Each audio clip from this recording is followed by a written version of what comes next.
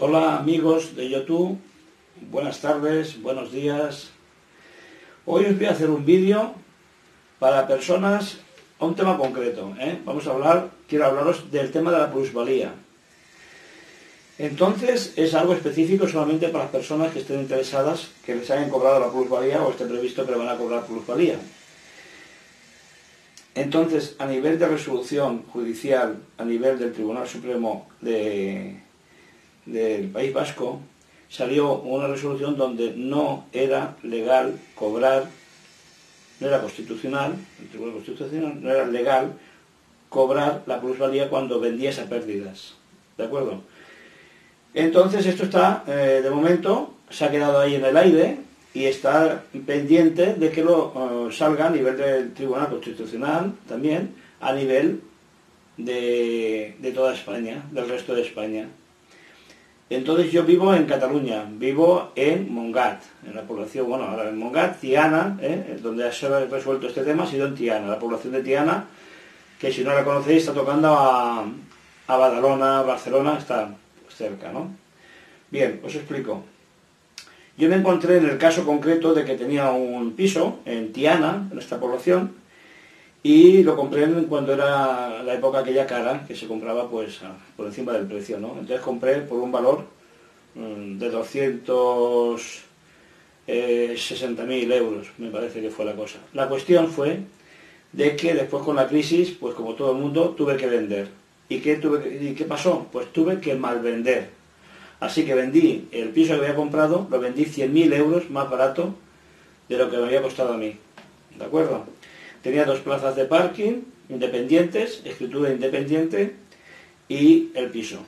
Entonces, ¿qué pasó? Pues que cuando fui a... me dieron para pagar la plusvalía, me fui a la Diputación, a la oficina de Diputación de Barcelona, y me cobraron 13.000 euros por las dos plazas de parking y el piso, 13.000 euros de plusvalía, diciendo que tenía 20 días para pagarlo, sino que tendría incrementos y tal, y tendría sanción. Así que me forzaron rápidamente a tomar la decisión de pagar, y tuve que pagar 13.000 euros, cosa que yo les dije, digo, pero, pero si esto no tiene lógica, ¿cómo no tiene lógica que yo venda más barato lo que me ha costado, por tema de crisis tengo que mal vender el, el tema, y encima ustedes me digan que pague plusvalía, como que yo he ganado algo, si yo no he ganado nada, he perdido. Pues no, no, la ley dice que hay que pagar y hay que pagar. Y tiene 20 días para pagar, si no, tendrá recargos y demás. Así que la ley del embudo, ¿vale? Cuestión, hice una instancia y dije que no estaba conforme, que yo presenté mmm, una fotocopia como que yo, de la escritura, como que yo había comprado un valor, había escriturado por un valor y que había vendido por otro valor.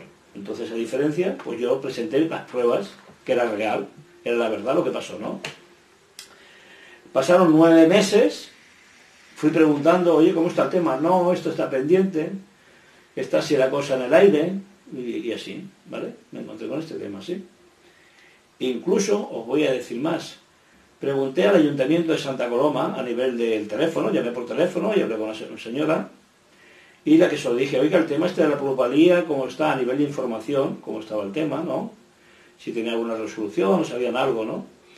Y esta señora me contestó así como os digo, me dijo, uy, usted, esto de la plusvalía, eso no haga caso. Digo, no, me parece que son cuatro años para reclamar y demás. No, no, usted no haga caso. Digo, bueno, en televisión en todos lados lo han dado. Me dice esta señora del Ayuntamiento de Santa Coloma, al número que llamé, me dice, no haga caso todo lo que le diga la televisión, eso no es verdad, eso lo han dicho, pero eso no es verdad, así que esto no, no, usted no puede reclamar nada, esto es así, que no hay nada para reclamar. Y yo dije, joder, ¿eh? pues sí que la gente, y diciéndome, asegurándome que estaba bien, ¿eh? que sabía lo que decía. Cuestión, pasan nueve meses, voy preguntando que cómo está el tema, me dicen que, uy, no sé, está pendiente, falta poco, dándome largas. Y cuestión, cojo un abogado, cojo un abogado que ya me llevó un tema, lo cojo este abogado de pago, de pago, pagando, le cojo mi abogado, ponemos la demanda, esperamos, he esperado nueve meses, otros nueve meses, que en total llevo dos años esperando la resolución, dos años. Cuestión, para simplificar, que me han devuelto 14.000 euros, 13.000 euros que me habían cobrado, más 1.000 euros de intereses por la demora. Así que total he cobrado 14.100 y algo de euros. Quiere decir, las personas que estáis, que habéis pagado plusvalía, que tenéis la prueba de que habéis escriturado un precio y habéis vendido otro precio, teniendo la escritura de una cosa y de otra, pues que lo mováis, cogéis un abogado y para adelante, que tenéis la de ganar, ¿vale? Pues este vídeo es para estas personas, para abrirle los ojos y que lo hagan, ¿vale? El precio del abogado os voy a decir lo que me ha costado, para que no abuse alguno de vosotros. A mí, un abogado, el hombre es un, la verdad que es una persona que normal, porque he visto otro abogado al cual un día me quiso meter un... Quería ganar más él que, lo que era la sentencia. Eh, pero bueno, eh, bueno, esto no quiere decir nada con esto, esto quiere decir como todo el mundo en la vida, la vida hay de todo en la vida, y en la viña del Señor hay de todo. ¿eh? Pasa como en todos, los casos, no solamente en este tema. La cuestión, este señor me llevó 300 euros para empezar el trámite, 300 euros que pagué, empezó todo el trámite, fuimos al juzgado ahí de esta justicia, la ciudad de la justicia, Barcelona, le di poderes a él para representarme y demás, fui el único día que estoy con él allí, con toda la documentación que lleva el hombre, y pendiente sentencia. Eh, total, me viene la carta tres días antes que saliera el juicio, que salió para, para el 9 de diciembre, pues tres días antes me, llega una carta diciendo que eh, la Diputación que asume el pago y que dentro de unos días me harán efectivo el dinero que me deuda. En total 14.000 euros. Con esto quiere decir que así pasó la cosa. Este abogado le he dicho, ¿qué te tengo que pagar del resto? Me ha dicho, dame 415 euros. Así que me va a costar en total 700, 800, 1000 euros te puede costar, ¿eh? Así que si alguien tiene que llevaros este tema, según el importe, dependiendo del importe, mejor pues poner más interés, pero unos mil euros os va a costar reclamar la plusvalía, si cogéis un abogado. Ya ves, yo la parte de intereses que me han pagado se la pago al abogado y yo recupero mi dinero. Pues ya está. Si tenéis que hacerme alguna pregunta, ya sabéis algo. Si tenéis que poner en contacto conmigo y queréis que a nivel personal os dé el número de teléfono de este abogado, a mí no me cuesta nada, yo no cobro nada, es una abogado y estoy contento con él, y nada más, ¿eh? no tengo ningún interés en esto. Esto lo dejo por si alguien encuentra a alguien que dice 2.000 euros, 3.000 euros. ¿eh? Pues si encontráis que no encontráis a alguien que os facilite esto, pues es lo que hay. No os puedo decir otra cosa.